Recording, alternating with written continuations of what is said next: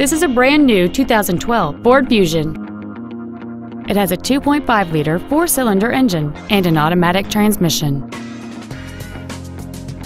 Its top features include a double wishbone independent front suspension, a low tire pressure indicator, Sirius satellite radio, aluminum wheels, and traction control and stability control systems. The following features are also included air conditioning, cruise control, full power accessories, a six speaker audio system, a four wheel independent suspension, a security system, privacy glass, dusk sensing headlights, front and rear reading lights, and fog lamps. Contact us today to arrange your test drive.